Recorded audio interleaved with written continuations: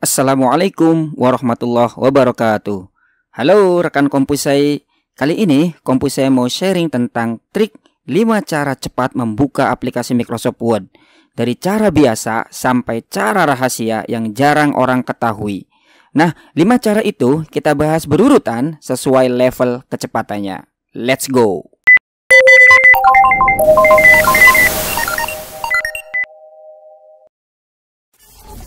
Dimulai dari cara yang pertama. Cara yang pertama adalah cara yang biasa, cara mainstream, yaitu dengan mengakses icon atau shortcut yang ada pada desktop. Di sini kita lihat, kita cari dulu shortcut atau uh, icon Microsoft Word-nya. Kemudian kita bisa melakukan double klik atau klik kiri sebanyak dua kali secara cepat. Klik-klik. Maka terbukalah aplikasi Microsoft Word-nya. Oke, atau teman-teman juga bisa dengan men, dengan melakukan klik kanan pada icon Microsoft Word-nya, lalu pilih Open. Oke, di sini sudah terbuka aplikasi Microsoft Word-nya. Akan tetapi cara ini dinilai kurang efisien ya, alias lama. Jika kita sedang membuka banyak program dalam waktu yang bersamaan. Misalnya seperti ini. Saya di sini sedang membuka banyak program ya di sini. Nah, ketika kita ingin membuka aplikasi Microsoft Word melalui shortcut yang ada di desktop, maka mau tidak mau kita harus meminimize setiap program yang sedang kita buka. Jadi seperti ini, kita minimize lagi, kita minimize lagi, baru kita bisa menuju ke desktop. Lalu kemudian kita bisa mengakses shortcutnya ya di sini. Nah, atau sebenarnya teman-teman bisa mengakses desktop ini saya berikan tipsnya agar teman-teman bisa langsung menuju ke desktop tanpa perlu meminimize atau mengclose program yang sedang teman-teman buka ya. Jadi caranya adalah jadi teman-teman bisa menggunakan tombol kombinasi yaitu tombol Windows dengan tombol D ya. Ingat-ingat D ini adalah desktop. Mungkin adalah D ini adalah huruf awal dari desktop itu sendiri. Jadi teman-teman bisa langsung tekan tombol Windows berbarengan dengan tombol D. Oke, maka kita sudah langsung tertuju kepada desktop dan kita bisa langsung mengakses shortcut atau icon Microsoft Word-nya di sini. Kelemahan selanjutnya adalah tidak semua komputer ataupun laptop ini terdapat icon Microsoft Word-nya yang sudah muncul di desktop ya. Jadi tidak semuanya uh, aplikasi Microsoft Word itu langsung muncul di desktop. Nah, kenapa soket Microsoft Word itu bisa tidak ada di desktop ya? Penyebabnya bermacam-macam. Pertama, bisa jadi ketika proses instalasi settingan untuk menaruh shortcut Microsoft Word tidak disetting di desktopnya ya atau tidak dimunculkan pada desktop. Yang pertama, yang kedua bisa jadi icon atau shortcut Microsoft Word ini terdelete ya. Seperti ini misalkan. Nah, padahal kita sudah menginstalnya ya. Bukan berarti tidak adanya shortcut ini berarti Microsoft Word-nya, aplikasi Microsoft Word-nya tidak ada di komputer atau laptop rekan kompusai ya. Nah, kembali lagi kita Ctrl Z lagi, kita munculkan lagi ikonnya. Jadi seperti itu ya. Nah, jika terjadi terlanjur eh, icon Microsoft Word ini terdelete, teman-teman bisa memunculkannya kembali ya melalui menu start menu yang ada di sini. Kemudian kita klik kanan. Nah, ini tidak bisa. Kita langsung saja ke all program. Kita cari Microsoft Word di sini. Nah, sudah ketemu Microsoft Word 2016-nya. Lalu kita klik kanan di sini. Lalu kemudian pilih send to. Di sini kita pilih desktop. Create shortcut ya. Nah, maka shortcut Microsoft Word pun akan muncul lagi di sini. Oke, cara selanjutnya adalah cara yang lebih efisien, cara yang lebih cepat lagi dibandingkan cara yang pertama, yaitu dengan melakukan pin atau menyematkan gitu ya, icon atau shortcut Microsoft Word pada taskbar. Yaitu uh, icon ini kita taruh di taskbar ya, agar nanti ketika kita sedang mengakses uh, sedang membuka program lain itu bisa kita langsung klik di sini gitu ya. Kita tekan Windows D. Nah, Caranya seperti ini, teman-teman klik kiri ikonnya atau shortcut Microsoft Word-nya. Kemudian kita tahan, klik kiri kemudian tahan, kemudian tarik ke dalam taskbar. Lalu muncul pin to taskbar. Jangan dilepas dulu, ini namanya proses drag and drop disebutnya. Nah, setelah ini boleh setelah muncul tulisan pin to taskbar, maka teman-teman boleh melepasnya. Nah, seperti itu. Maka ikonnya sudah muncul di sini gitu. Nah, ini lebih efisien lagi ketika dalam kondisi kita membuka aplikasi lainnya, sedang browsing, sedang ngetik ataupun yang lainnya gitu ya sedang melakukan apa pun. Nah, ini bisa kita langsung ketika kita ingin membuka um, Microsoft Word, kita bisa langsung mengklik shortcut Microsoft Word-nya melalui taskbar. Klik, kemudian kita muncul. Nah, seperti itu.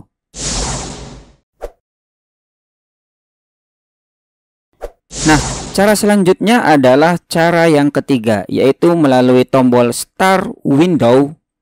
Kita klik di sini, lalu kemudian kita klik All Programs, Kemudian kita cari Microsoft Word di sini gitu ya. Nah, ini adalah shortcutnya. Lalu kemudian kita klik. Cara ini masih kurang efisien dan masih jauh dari kata cepat.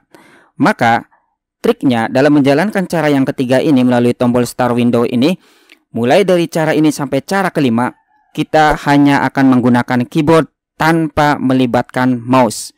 Karena seperti yang kita ketahui bahwasanya penggunaan mouse ini dalam beberapa kasus itu akan memperlambat kinerja kita.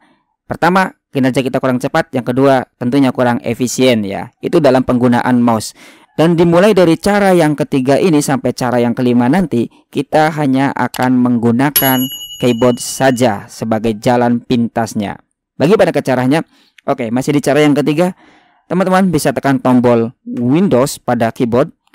Nah, tanpa menggoyangkan mouse apa pun, tanpa menyentuh mouse, langsung aja teman-teman langsung ketik di situ E O R D, lalu langsung tekan enter. Oke, yang perlu diperhatikan di sini adalah ketika teman-teman memiliki file ataupun dokumen dengan nama Word, maka kemungkinan besar ketika dipanggil di sini dengan diketik di sini dengan kata Word, maka file itu akan muncul di sini gitu. Maka tidak menutup kemungkinan ketika kita langsung uh, menekan tombol enter setelah menekan uh, mengetikkan kata word di sini lalu kita langsung tekan tombol enter tidak menutup kemungkinan yang terbuka adalah file atau uh, dokumen yang kita namakan dengan kata word ya. Di komputer ini kebetulan saya tidak memiliki file atau dokumen dengan nama word.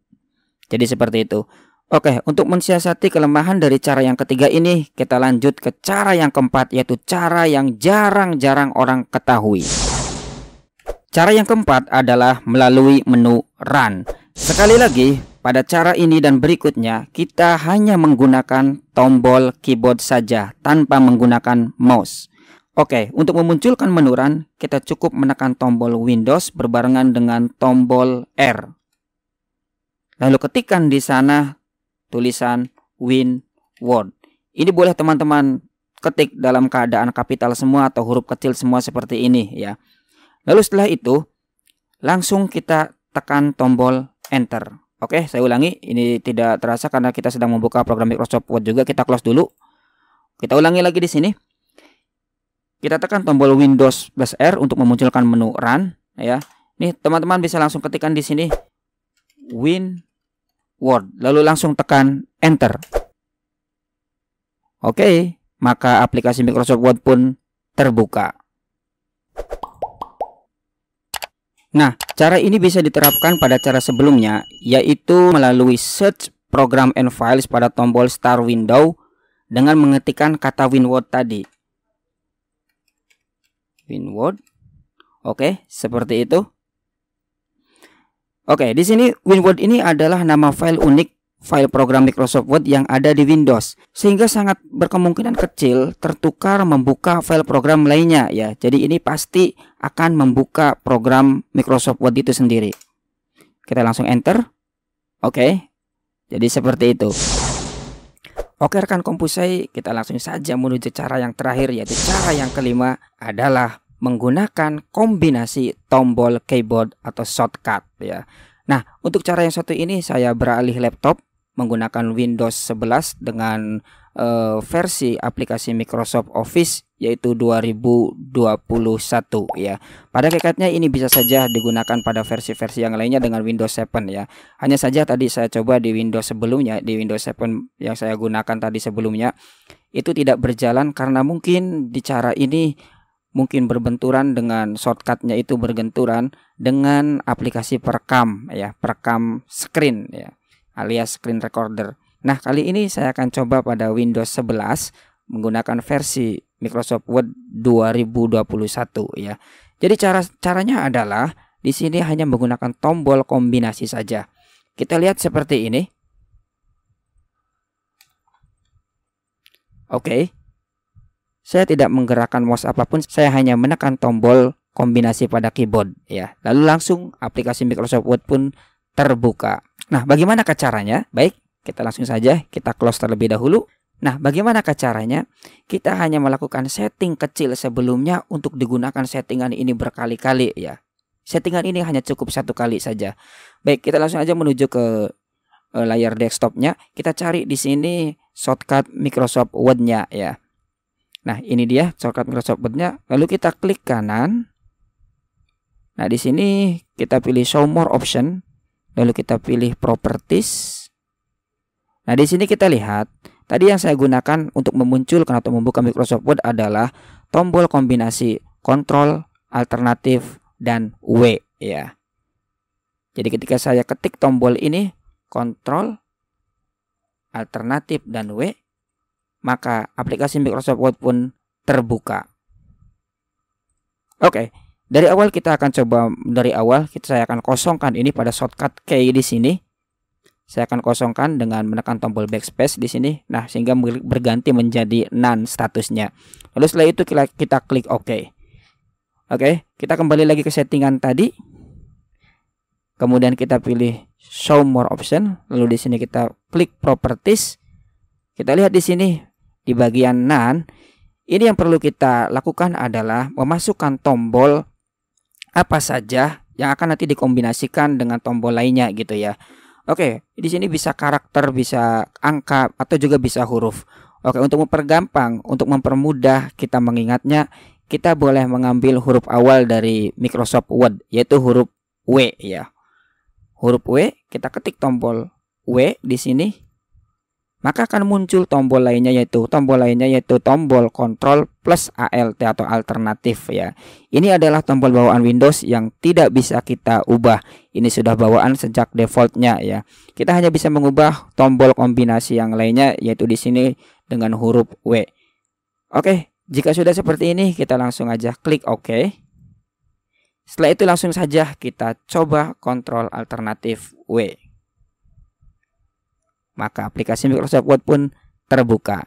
Nah, cara ini sangat mudah sekali, sangat cepat sekali dan bisa digunakan dalam posisi mana pun. Misalkan tidak hanya pada ketika kita ada di desktop, tapi juga ketika kita sedang membuka program lainnya. Misalkan di sini saya menggunakan Google Chrome, lalu saya ingin membuka aplikasi Microsoft Word tanpa perlu kita harus mengclose ataupun kita meminimize aplikasi Google Chrome ini, kita langsung bisa mengakses Microsoft Word membuka Microsoft Word melalui tombol kombinasi yang tadi kita setting yaitu Ctrl Alternatif W. Maka aplikasi Microsoft Word pun langsung terbuka. Cepat sekali bukan? Ini adalah cara cepat yang jarang orang ketahui. Oke, menurut rekan Kompusai, manakah cara tercepat dan terfavorit dalam membuka aplikasi Microsoft Word? Silahkan tulis di kolom komentar ya. Tentunya, pastikan rekan-rekan Kompusai praktikan terlebih dahulu sambil tonton video ini. Terima kasih, semoga bermanfaat. Silahkan subscribe karena saya akan mengupload video bermanfaat selanjutnya. Assalamualaikum warahmatullahi wabarakatuh.